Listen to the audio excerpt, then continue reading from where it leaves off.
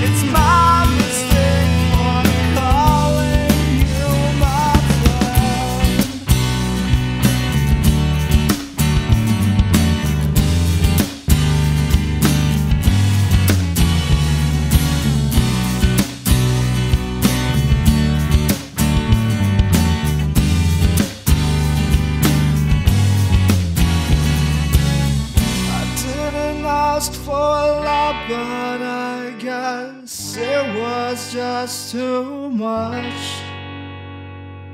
I thought it was in your hands I could safely place my trust. But now I feel betrayed.